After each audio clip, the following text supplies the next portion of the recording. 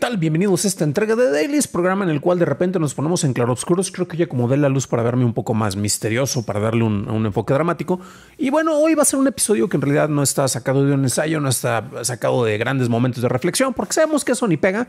Vamos a, tener mejor secciones de chismes. Aquí les vamos a hablar de cuando, este, no sé, González Iñárritu le pidió ayuda a Guillermo del Toro para ver qué onda con su película, con la del Bardo, porque cuando la presentó en Venecia a la crítica nomás no le gustó, hubo algunos, unas dos que tres personas que sí. Entonces llega Guillermo del Toro, le empieza a ver, le dice que no le entiende, luego este, eh, llega este Iñárritu y dice, no, pero es que yo de lo que te pedí ayuda era no si le entendías o no le entendías, sino para ver qué onda sobre estas escenas, para ver si se ven realistas, a lo cual del Toro le dijo, eh, pues realista en qué sentido, o sea, no sé qué es lo que quieres comunicar.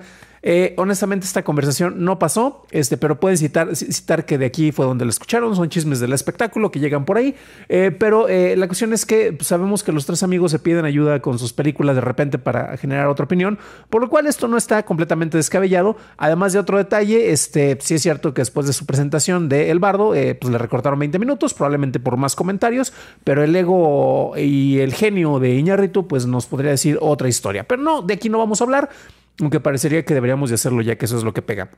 Y hoy es más que nada un, episodio más que nada de comentarios eh, muy personales y estaba pensando sobre eh, fenómenos de la cultura pop y cómo de repente la frase, por ejemplo, de una película de Nolan de que eh, o mueres siendo un héroe o vas a vivir lo suficiente para convertirte en un villano, aplica en muchas cuestiones.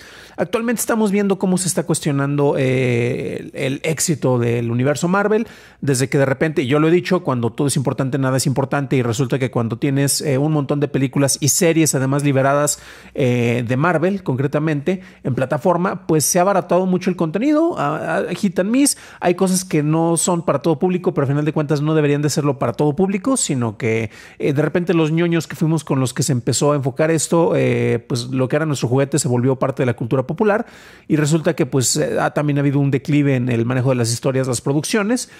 ¿Y qué es lo que pasó? Y estaba buscando algo similar y recuerdo que tenemos un caso muy particular, eh, algo que lleva por más allá de las 30 temporadas, si no me falla la memoria. Y es muy interesante porque Los Simpson es algo que podría servir como una especie de guía para esto. ¿Y qué es lo que pasó? Si nos ponemos a analizar Los Simpson, eh, yo todavía lo sigo viendo, no soy de los que lo satanizan y dicen que no hay nada nuevo. Y al analizar las temporadas, uno podemos ver que en la primera, como que están tratando de encontrar su voz, su dimensión. Tenemos episodios clásicos que muchos recordamos con cariño porque los vimos en esos tiempos, cuando surgieron y cuando era una caricatura irreverente. Y ahorita es algo súper, ¿cómo decirlo? Súper conformista. Algunos dirán que es hasta conservadora, odio santo. Pero es curioso y es interesante cómo ha ido evolucionando. Después, cuando va avanzando de la segunda temporada, que es donde empieza a encontrar su voz, eh, a partir de la temporada 3 a la 8 es donde están los mejores episodios, es donde teníamos a los escritores más geniales, donde hay una gran expansión. Y después todo se empieza a ir al, carajo. En la temporada 9 es donde de repente ya empiezan a verse algunas fallas. Y usualmente de, las 10, de la 10 eh, en adelante es cuando muchos ya dejaron de verla. Esto varía porque de repente uno encuentra eh, episodios que son divertidos, episodios que tienen buenos comentarios sociales, episodios que son pues genuinamente buenos después, incluso en las temporadas más recientes, aunque muchos pues van a decir que para qué lo quieren ver.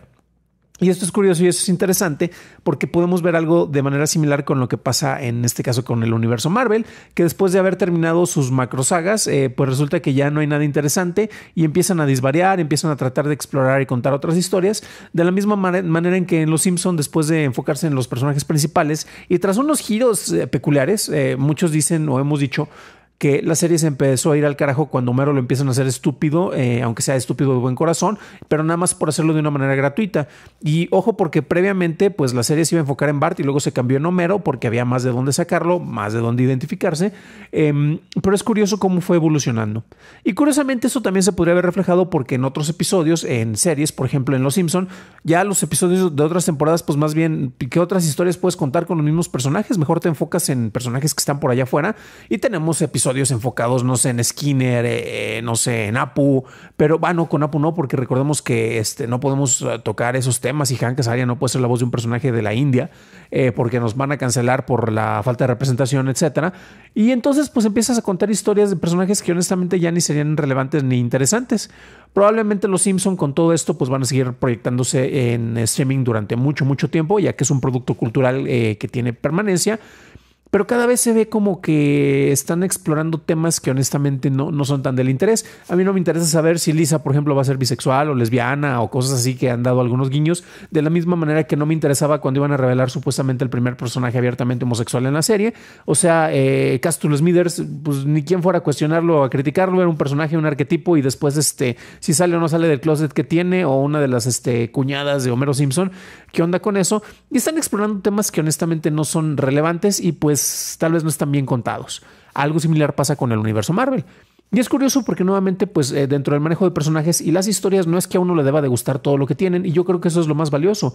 Si de repente ha habido críticas, este, por ejemplo, She-Hulk, que es un caso particular porque después del cuarto episodio empieza a encontrar su voz y usualmente lo que fue el primer episodio en realidad se iba a pasar creo que en el episodio 6 o en el 7, pero querían una historia más convencional de origen de superhéroes y por eso lo adelantaron. Además de que para esto teníamos el gancho con eh, Mark Ruffalo. Pero es una historia que en general que no sabemos para dónde va. O sea, es el caso de la semana o no es el caso de la semana. Tienes escritores que no saben contar historias de abogados, pero haciendo casos de abogados. Tienes traslaciones de personajes que eh, están cotorras o están divertidas y otras que no tienen nada que ver es, un, es otro medio, o sea, a mí no me importa que Mr. Immortal no tenga nada que ver con el del cómic, aunque le tengo mucho más cariño al del cómic, sobre todo por la versión que fue escrita por Dan Slott. Y es curioso porque pues de la versión de John Byrne prácticamente no adaptaron nada y de la Dan, Dan Slott adaptaron muy poco para la historia de She-Hulk.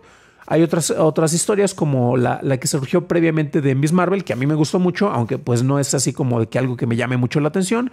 Luego tenemos la historia de, de Mark Spector, el, el, el Moon Knight, que honestamente debe haber sido una película y sufre el mismo fenómeno de otros productos de Disney, que es el hecho de que, pues, ¿sabes qué? Mejor hubiera sido una película en vez de tratar de alargarla para tener contenido para tu plataforma.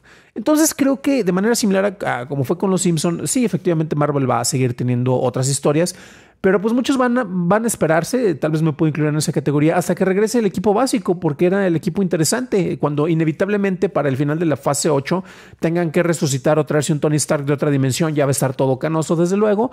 Este, resuciten o se traigan al Capitán América viejito. Eh, Thor, pues él siempre va a estar todo guapo y musculoso y con su martillote o su achota, ya ni sé, o con su romance de la semana, probablemente con un rastrillo. No, ¿verdad? Porque es Thor. Este, pero pues hasta que regresen, esos va a despertar el interés de otras personas. Qué bueno que se están explorando eh, otros personajes. Sin embargo, pues ya pasamos de algo que era importante. Curiosamente fue aproximadamente al cumplirse los 10 años.